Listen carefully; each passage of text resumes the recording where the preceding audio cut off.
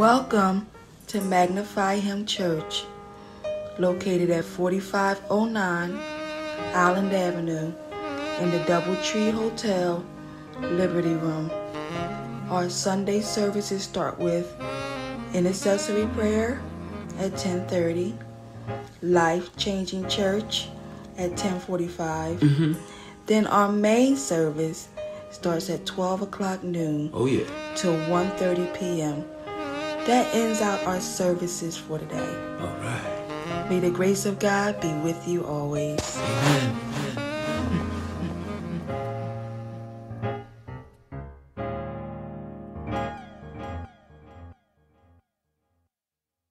Matthew, Matthew, we're in Matthew chapter 4, verses 1 to 11. Matthew 4, verses 1 to 11. I thank you for being such a gracious host. Minister Chesley Brandon, we thank you for all the announcements. We thank you for that wonderful song that was sang that just rings in our hearts this morning. And now it's time for the word. So let us go to Matthew chapter 4, verses 1 to 11. The sermon in your hearing is identified and qualified. I don't know how much of this I'm going to be able to give you today because time has kind of gotten away from us. And I do have another appointment today. So I have to get right into the word. Amen. Uh, you'll find me, everyone, please come together. Everybody, please stand for the reading of God's word.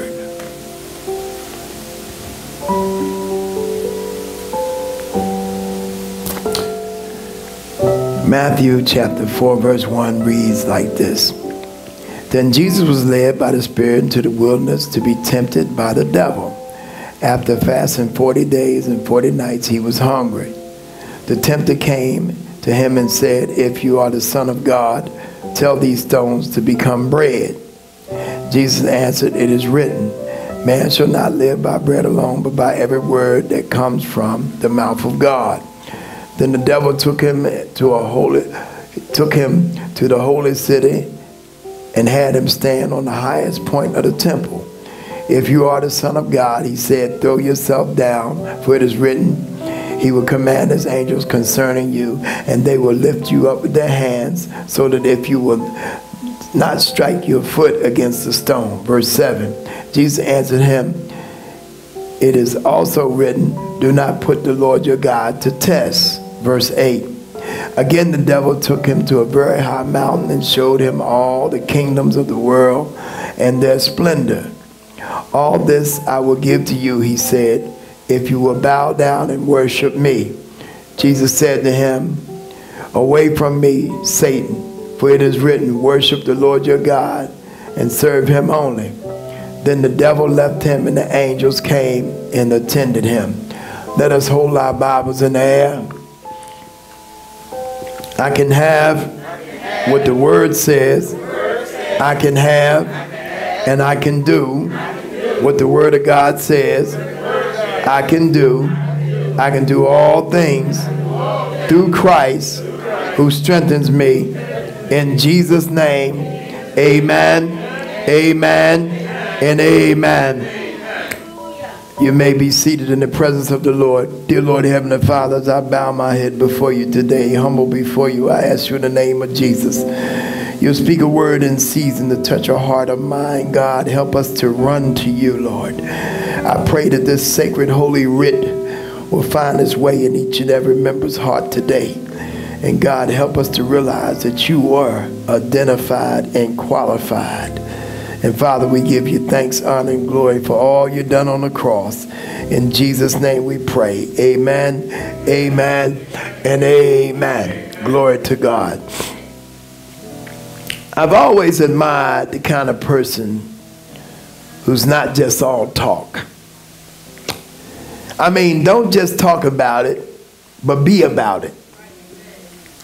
You can talk about a job all day long, but if you don't lift a finger to help me, you're really no help at all. In chapter 3, verse 13 to 17, we see Jesus walking into the water right there with John. John is baptizing in the River Jordan, and hundreds of people and standing around, all around, hundreds of people all waiting to step down into the water. Jesus breaks the line to be baptized. And John is just so overwhelmed by this that you have to realize something that he just got finished talking about this one to come that will baptize in the Holy Spirit and fire. And he said that he's not able even to tie his shoelace.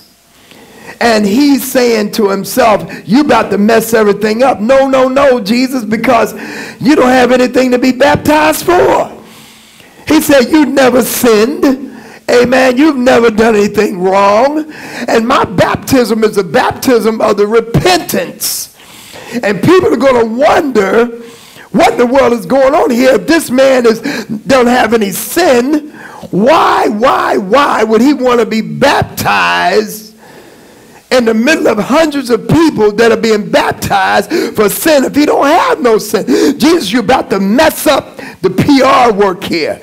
You're about to mess up the image here. You're about to blow it. People are going to wonder, why am I going to be baptized if he's baptized? But you have to realize something.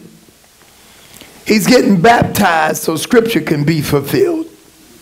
Why? Why? Why? Listen, because 700 years ago in Isaiah 53 and verse 12, it said that he would be numbered with the transgressors and he was, uh, listen, he was a transgressor. They're saying, no, no, no.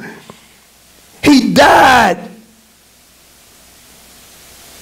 for our sins. He came to identify with you and me.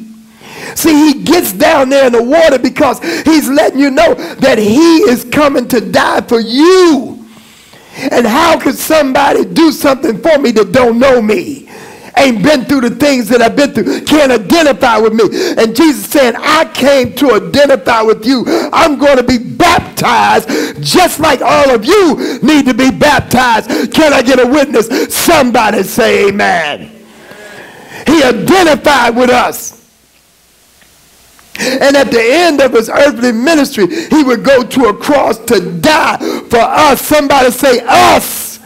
Us. Us on the old rugged cross. How can, how can someone respect you that doesn't come to live with you or go through the motions of life like you? We all see a righteous son of God going in for a sinner like you and me talking about a massive miracle. He's taken the sins of the world upon him. And he opens up and says, Listen, I'm all about you. When I go into the trenches, he climbs in when I'm defenseless. Somebody say amen. amen. He's down with us. He loves us enough to get in the trials of life with us. He loves us enough, like Shadrach, Meshach, Abednego was in the fire. He gets right in there in the fire with them. He just doesn't stand on the outside. He gets in it with us. And no matter what you're going through today, I want you to realize something. You're not alone. Somebody say, I'm not alone today. God is in there with me. Then we hear God in verses 16 and 17 of chapter 3, he said, This is my son, this is the real deal. This is my son whom I'm well pleased. He said, Just believe in him. He's not just doing it for you, he's doing it to bring you back to God. Whether we realize it or not, we needed a representative. Because there was no one else on earth that was without sin. We've all sinned and fall short of the glory of God. And God demands a sacrifice. And Jesus came to be the living sacrifice for each and every one of us. That's the reason why we say he identified with us. But now let's get to the qualified. You look at Matthew chapter 4, verse 1 and 2, it says, Then Jesus was led by the Spirit into the wilderness to be tempted by the devil. After fasting 40 days and 40 nights, he was hungry. To say he was hungry is an understatement. Because whether you realize it or not, listen, the medical doctors and the medical uh, society of today will tell you that if you fast past 40 days, you'll get ready to start doing irreversible damage to the body. That means your mind, your body, your organs are going to be tempted to lose their strength. 40 days is the test of man. But Jesus said, listen, I'm going to go all the way. Not a one day fast, two day fast, two week fast. He said, I'm going 40 days. I'm going all the way to the end of where man will begin to lose everything. Jesus said, I'm going to do the full 40 days and 40 nights. Somebody say he goes all the way all the way for you, all the way for me. Somebody need to clap their hands and give God the glory because he goes all the way for you. And then after he went through all of that, he goes into the wilderness to be tempted of the devil. Now, ain't that something? He was already baptized, y'all. He didn't have to go any further. And because he had no sin in him, it was done just to identify with you and me. That's the reason why he got baptized. He didn't need to get right with God. He's already God. He is the living God. He is the God in the flesh. Can I get a witness? He didn't have to do nothing. And then the first thing he does, it goes into the wilderness to be tempted. Why? Why? Because we already had two people that we know in our Bible that represented us. It was Adam and Eve. Come on, somebody. And they represented us, and guess what? They messed it up. They messed it up. When the devil tempted Adam and Eve, they threw in the towel. They didn't have to because guess what? They would, oh God, listen to me. They didn't have this flesh that we have like we have it.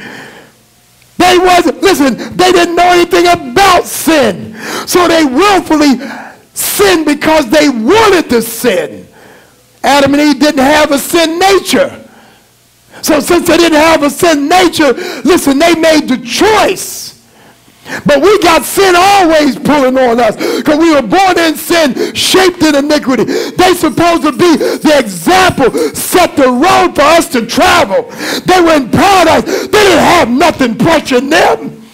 They had one thing that they had to stay away from. One thing that they had to resist. One thing that they had to say no to. We got millions of things each and every day of our life that we got to say no to. Can I get a witness in here? Is anybody listen to me? Get this here, Brian. Listen, we got temptation on every corner. Every time I wake up in the morning, you got something in your face. Some challenge. Adam and Eve didn't have no challenge. They were perfect. In a perfect garden. They wasn't subject to temptation like you and I. God gave them everything they needed, everything they wanted, and they failed, completely failed. It was nothing inside them to make them feel that, that, that they, they needed to su subject themselves to the devil. It was nothing inside of Adam and Eve to force them or even draw them. Are you listening to me? They didn't have the nature that you and I have. They were pure. They didn't have no reason in the world to go the way that they went. Somebody say Adam and Eve did not have a sinful nature. We always putting everything on the devil. But saints, it's not always the devil. Can I get a witness?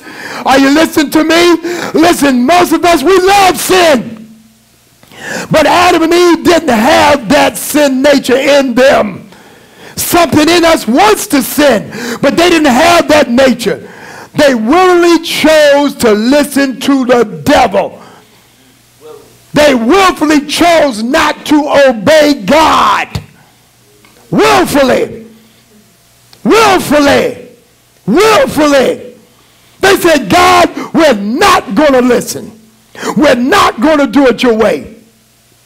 But Jesus, as soon as he was baptized, he goes in the wilderness to prove that he is qualified. He say, I am not like Adam.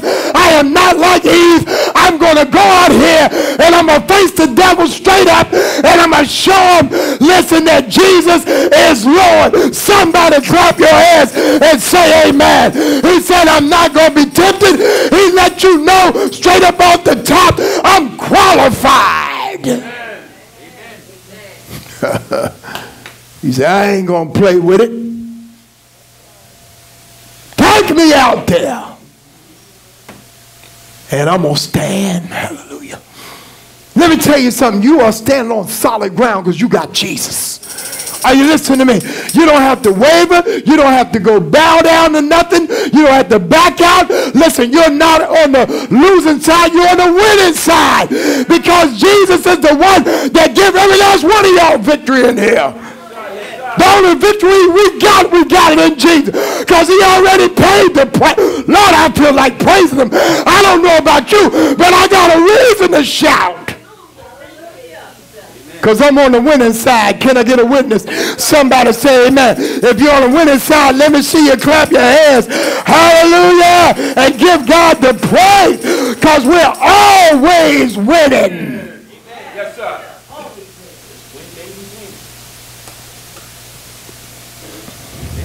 He alone is qualified. Somebody say, He alone, he alone is qualified. qualified. He alone, he alone is victorious. He is uniquely qualified to represent you and me on the cross, y'all. They failed, but he won't.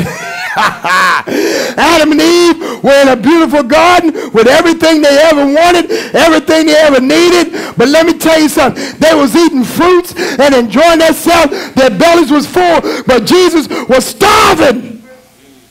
Listen to me. Jesus was starving 40 days and 40 nights, Mother Hobbs. He was hungry. Hungry. Starving. Yet still, in all the adverse situation, he still stood up and got qualified. Let you know. I'm not sitting up eating fruits and, and vegetables and enjoying the paradise of the garden. He said, I stepped into a filthy, nasty situation hungry, but I'm still going to stand for God.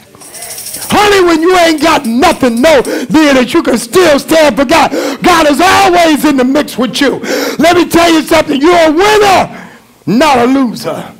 You're the head, not the tail. You're above and not beneath. Always know whatever challenge you're in.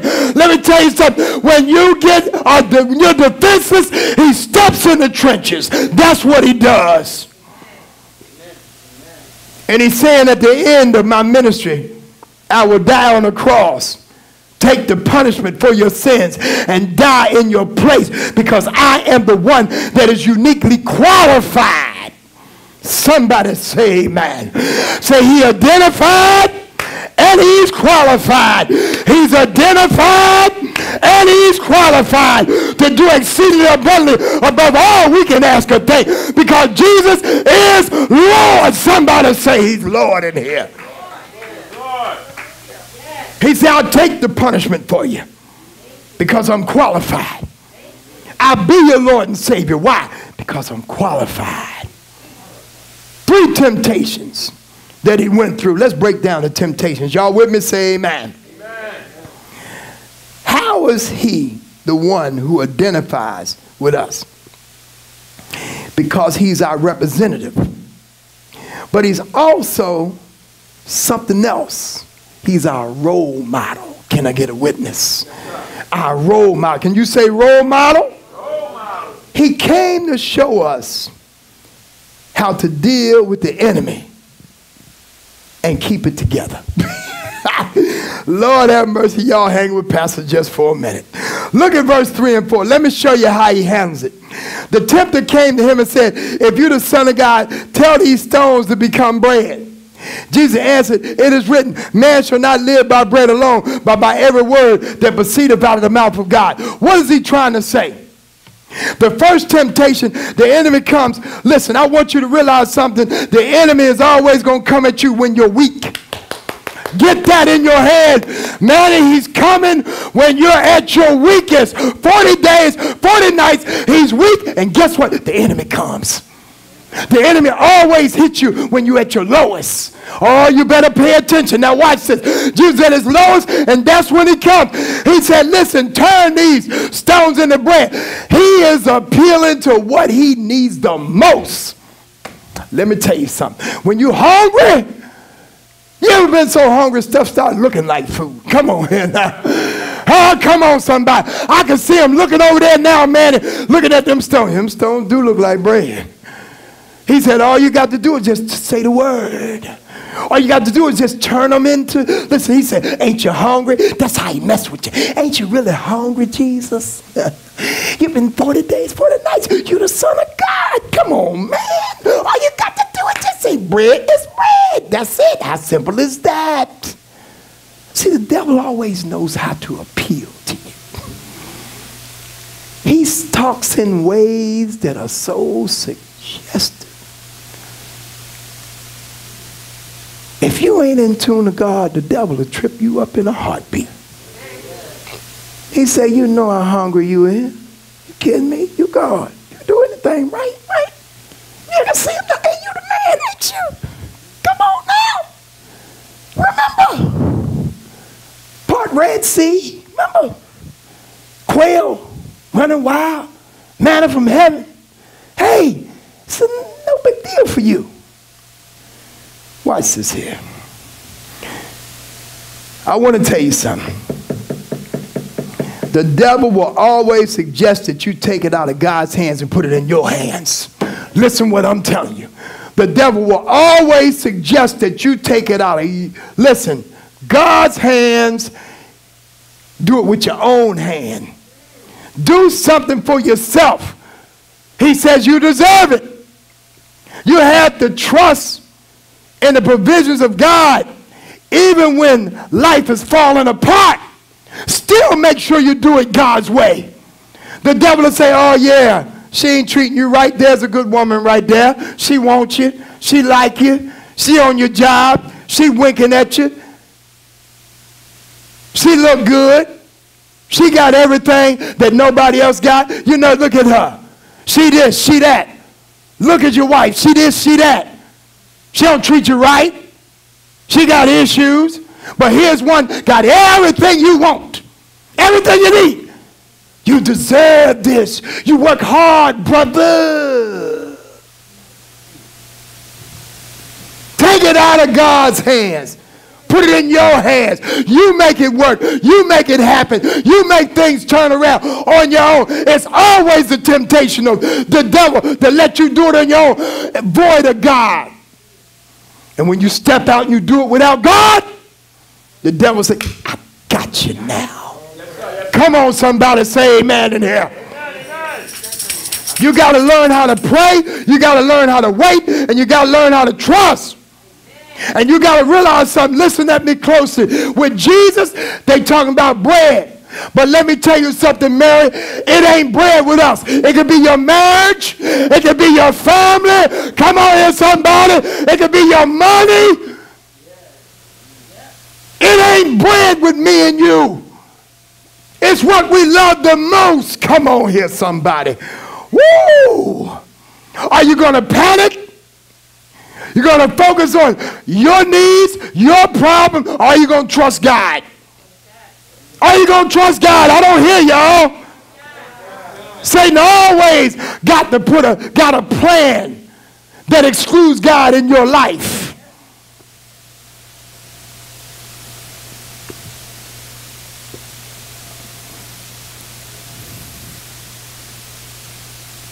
Jesus answered, "Is written, man shall not live by bread alone, but by every word that proceedeth out of the mouth of God."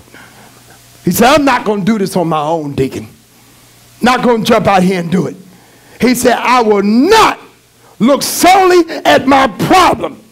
My answer is, and always listen, will be God first. It's easy to take Satan's suggestion. It's easy to take the easy road. It's easy to throw in the towel. It's easy to say it's over. It's easy to say, I'm not going to do it. But let me tell you something that I learned in life. The easy road ain't always the best road. Somebody clap your hand. See, when you take the easy way out, you're setting yourself up because the devil got a trap for you. If it's too easy, you better be careful. You better pray about it. You better talk to God about it because you could get yourself in a trap you can't get out of. Yes, sir. Just get a divorce. Just leave her. Just throw in the towel. Just throw your wife away. You don't need her. Here you is sitting up all these years, been in your corner, didn't have nothing. You was porter toted downtrodden, burnt, heavy, late, didn't have nothing. She come in your life, help you to get where you're at today. And now you get to the point where everything is going good for you. Now she ain't good enough for you. The devil is a lie. The devil always wants you to throw away what's best for you. I wish I had somebody here to clap your hands and give God the glory. That's your child. I'm not going to throw my child away. My child, all he got is his mom and his daddy. And I'm going to stick by him because he always wants you to go some way. They grown, they ought to live their own life, but they still need your prayer. Amen.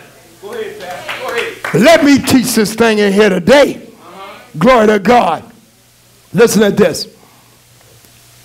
When you take a stand, stand on the word. What did he tell him? He told him the word. Man shall not live by bread alone, but every word, word, word, word, word that comes out of the Lord's mouth. We all get tempted and don't lie.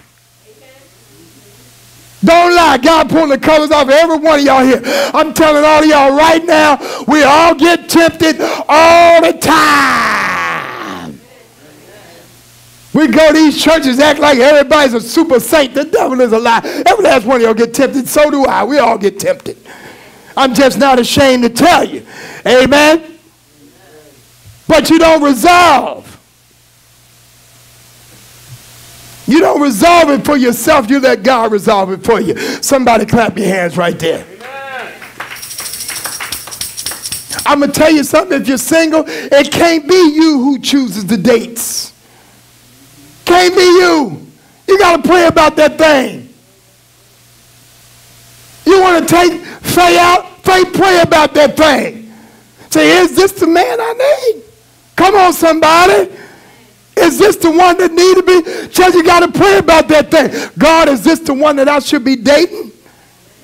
Because, see, once you put your foot in something, it's hard to pull it out. Now, I'm telling you right now. Pray before you put your foot in there. Don't be hollering at her. Don't be winking at her. Be praying about her, Tony. Pray about her, Tony. Pray about her, Tony. Let God decide, Sadie, who gonna be your next date. Look at verse 5. I'm talking to y'all. Y'all ain't saying nothing. Say, I like him. He cute. Yeah, all right. Then the devil took him to a holy city, the next temptation, temptation 2, and had him stand on the highest point of the temple. Look at this here. See, Satan uses scripture back on him. Look at verse 6. He said, if you're the son of God, he said, throw yourself down, for it is written. Now, ain't that something? See how the devil do? You see that? Now, he used scripture on the devil. Do you see the devil using scripture back on him? Come on, somebody. I'm telling you, Nia, that devil will use scripture on you and you'll think it's God and it's nobody but the fucking tail devil. That's exactly what it is. Because remember something, he knows scripture too. Yes, he do. Yes, he do. Yes, he do. Yes, he do. Oh, yeah. Somebody say you in there now, Pastor. Hallelujah. Because the devil be talking to you. And he uses scripture on him. What's this uh, jump all about? Let me tell you what the jump is all about. It's all over there in Malachi chapter 3, verse 1. Said that the Lord will come from the temple. Said the Lord will come from the temple. Listen, you got to realize something. The temptation here is to be instantly popular. Instantly popular. Now, I don't know if you ever heard this before, but I want you to realize something, Sister Andrew. The temptation here, man, you don't miss this, is to be instantly popular. Saints, let me tell you something. The devil ain't changed his tricks. This is why a whole lot of people in these industries, these music industries, rap industry, it's the temptation, the temptation to be instantly. That's what's going on with the internet. Instantly popular. I mean, you on it just a popping that thing. Huh? You just doing your thing. You just putting on your show all out on the internet. Everybody got to see who you are, what you're working with, because the devil temptation is for people to be instantly popular. That's what TikTok is. That's what book Bookface is. The temptation to be instantly popular. And let me tell you something, saints. It's a lot of people have sold their soul to the devil in the game to be instantly popular. Yes, sir. Yes, sir. Oh, you better let me teach this thing, excuse me, son. Are you listening to me? You want to instantly be known. Instantly. I want to tell you something, saints. He said, just float down from the top of the temple. God said he give his angels charge. Just climb on up there, Jesus, and just jump on. Just float down. Let the world see you. Instantly popular. He said, and if you do that, I'll give you all the world. The devil will promise you everything and deliver on nothing. Just sign right here. Just come on. Everything you need, we're going to make you a star. Do you know how many young ladies right now is sold into prostitution because they wanted to be a star? They want to be seen out on the internet. And oh my God, you'll do this, you'll do that. And the next thing you know, they on the street in Detroit being pimped by a man in a green Cadillac sold into slavery, prostitution, young children, 13, 14, 15, 16 years old. Mama can't find you. Instant.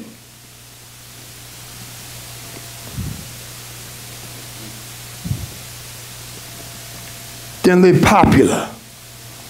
Then when you're strung out on some date rape drug somebody slipped a Mickey.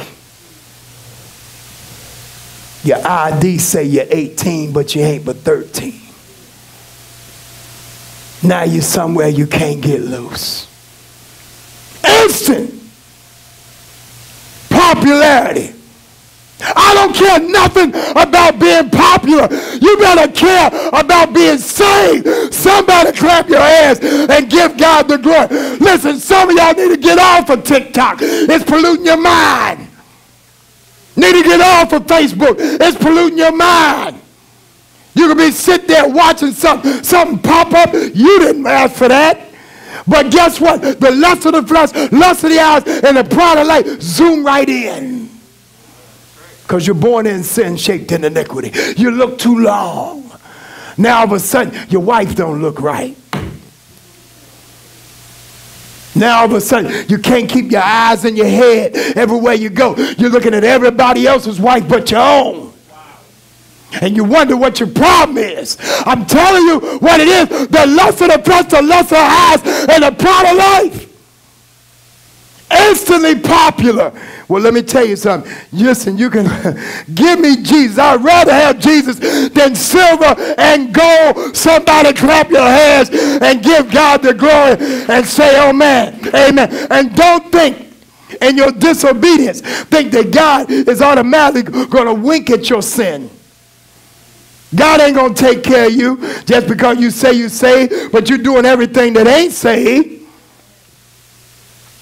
You think for a minute that I can run out here and run in the middle of Route 76? I can go out here, run in the middle of 95. I can go out here, run across 95, 476, and don't get hit just because I'm saved? You don't tempt God. You don't tempt God like that. You could be graveyard dead. Can I get a witness? Somebody clap your hands. I tell you, I, y'all, y'all, uh, I'm, I'm, I'm tell you now. Thank God that God is on our side. Somebody say amen. amen. Lord have mercy. Finally, I come to the last. Watch this. Verse 7. Jesus answered, It is written, Do not put the Lord your God to a test. Don't think that you can keep getting high and it ain't going to affect you. Don't think you're going to just take one hit. you're going to be all right. You got any idea how many people is lost in space from one hit? Because for the rest of their life, they're trying to get that same feeling, trying to get that same hit back. And there's your husband, there's your brother, there's your cousin, done stole everything out the house, done sold the wine out the house, done sold the plumbing out the house, and they're in the house, and it's dark and cold and dirty, and all they want is a hit like the first hit. But it never comes. It never comes. It never comes.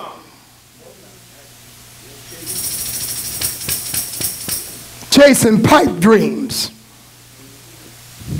And you can sit here and act like I'm not talking about you and you ain't got no family member. But let me tell you something. I done had family members on the pipe. I done had family members on crack. I done had family members on heroin.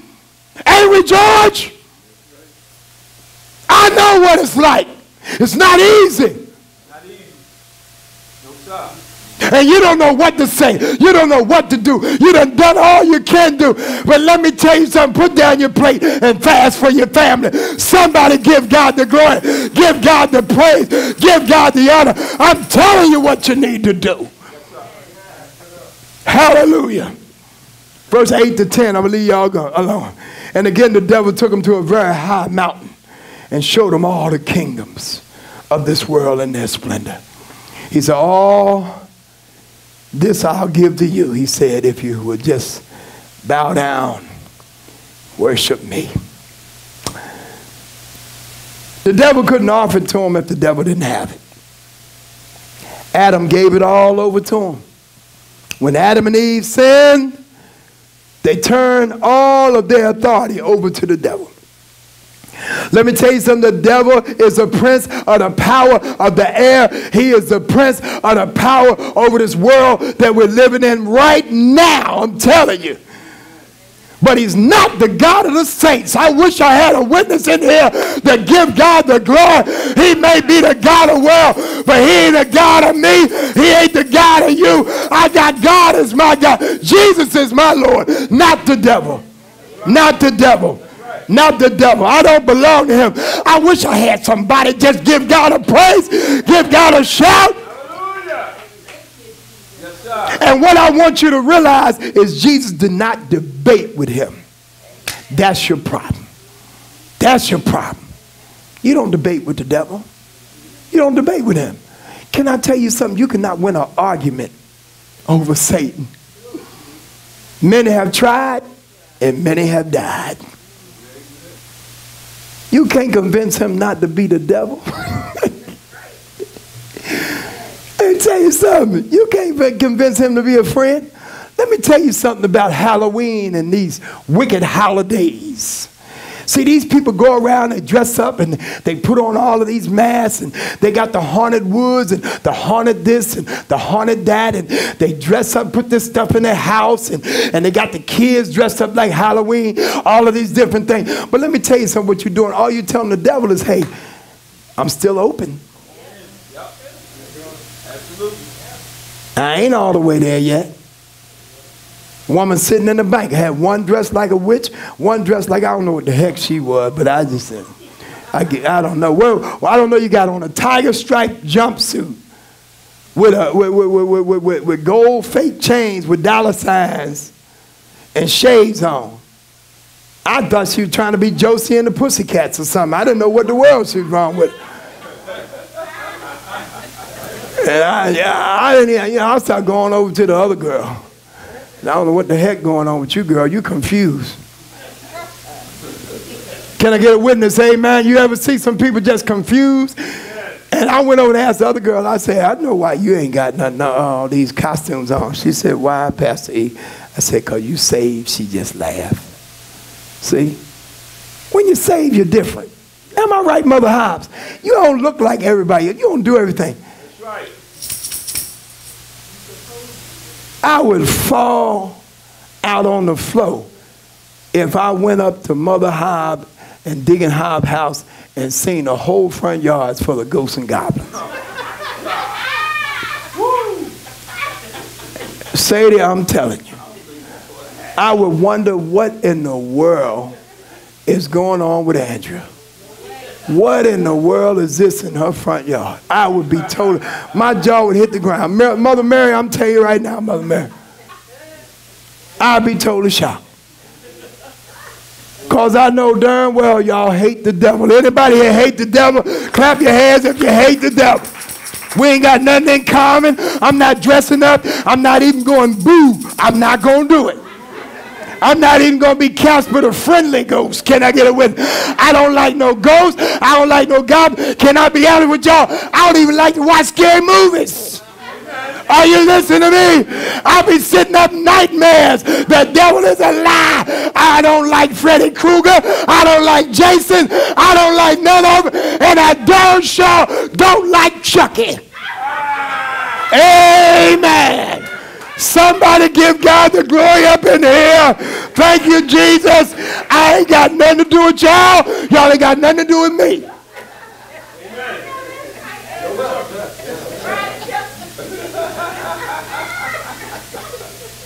And what I love about the scripture says when the devil left, the angels came. Let me tell you something. When the devil leaves, the angels is coming. He always wants you to go and get what you want. That's the way the devil works. Just don't do it with God. He wants you to go the easy way.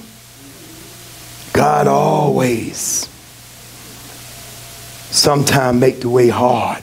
Come on, y'all. It's a narrow road and few find it. Can I get a witness? Yes, sir. Yes, sir. But not you because you're aware.